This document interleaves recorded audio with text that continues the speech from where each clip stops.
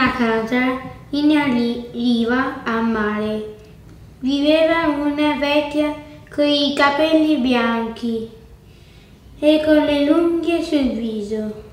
No, lunghe sul viso. Per i sordi l'ostacolo più grande da superare è quello di imparare a parlare. Mm.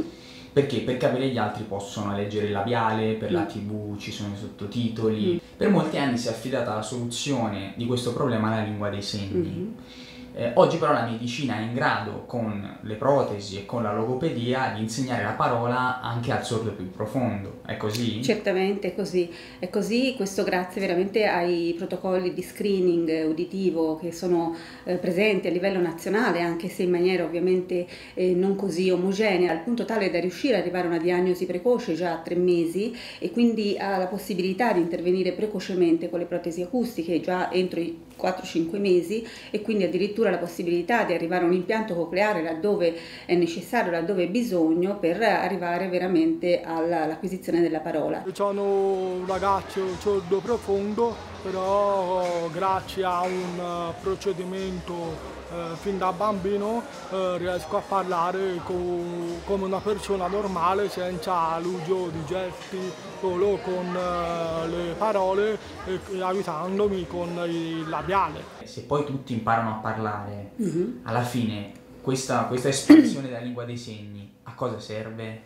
Cioè, può servire in una minoranza di casi in cui ci sono delle difficoltà. Lei cosa ne pensa della proposta di legge supportata dall'ENS, l'ente nazionale sordi, per il riconoscimento della lingua dei segni a livello nazionale? Noi siamo assolutamente contrari al riconoscimento della LIS e all'uso della LIS fin dai neonati. Con questa legge, se lo Stato riconosce che è una lingua, loro metteranno eh, gli interpreti giustamente, lo dice la legge, in tutti gli uffici pubblici dello Stato, in tutti i comuni, in tutte le ASL, in tutte le scuole di ogni ordine e grado. Un bambino che nasce sordo profondo nel 2014, se vuole, può, grazie alla medicina, imparare a parlare e essere semplicemente oralista. Come può imparare a parlare in senso Ora con logopedia come ho fatto io praticamente, sì, praticamente non che ce la può fare nel senso al 100%, può essere, cioè, però può farsi capire. Essere orgoglioso nel senso di essere persona sorda, non è a, a farsi capire perché altro riesco come sono riuscito io, anche bambino se parla però come comunicazione completa per ascoltare serve sempre la lista, soltanto che non tutti ce la possono fare perché ho visto anche ora, nel 2014, alcune persone sorte non riescono anche a pronunciare una parola correttamente con i tempi, dipende sempre dalla voce. Allora la mia famiglia nel momento in cui sono nata hanno visto che era più giusto fare un percorso di rieducazione linguistica e non del segno magari. Ha smesso lei il percorso perché il babbo dentro l'ufficio come privato lo portava in continuazione diceva prova, prova, prova, guarda quello che, che ti serve, poi discussioni e poi dice, abbiamo scoperto che lei ha deciso di imparare la LIS perché era più semplice per lei e soprattutto gli dava più ricchezza perché l'udente già le aveva insegnato la logopedia quello che poteva. Voi avete fatto anche un preventivo del costo che avrebbe mettere un interprete in ogni ufficio pubblico? Abbiamo fatto un, un calcolo che è sicuramente per difetto, l'importo è circa 400 milioni di euro l'anno. Se passasse la legge che voi avete proposto, ehm, una delle prime conseguenze sarebbe quella che in ogni ufficio pubblico andrebbe un interprete.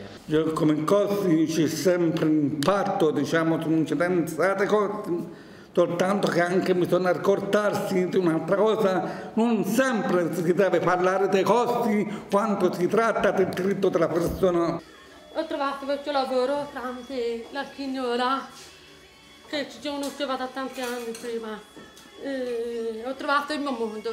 Mi ricordo la R, quando mi insegnavano la R, per me era un po' dirle R per me era un po', quando l'ho imparata, che me l'ha diritto, lo diceva anche la notte.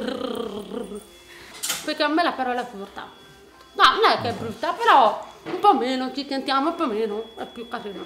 Noi come associazione è da tantissimi anni che cerchiamo di eh, far capire ai nostri politici quanto sarebbe fondamentale avere un punto di riferimento in ogni provincia italiana, perché chiaramente il bambino che fin da neonato deve seguire eh, un, un, percorso con la logopedista, se ha la logopedista a 200 km di distanza, lei capisce che la vita familiare eh, diventa faticosa. Quindi se i soldi investiti per la LIS fossero investiti per la prevenzione e per, e per la riabilitazione, secondo lei sarebbe... Eh certo, risolveremmo i problemi di, di tutti i bambini. Però in realtà a sentire l'audizione dell'ENS nella Camera dei Deputati a gennaio 2014, voi proponete la LIS come progetto di vita, cioè voi la proponete come soluzione alla sordità che può sopravvivere anche senza l'oralismo, è così? No, cioè vivere senza oralismo no, no, non diciamo questo, noi includiamo con la lista dentro alla proposta del decreto legge 1151, proponiamo tutte le varie forme per la persona sorda. Non sarebbe meglio spendere questi soldi per insegnarli meglio a parlare, per insegnare a tutti a parlare, per renderli autonomi integrati?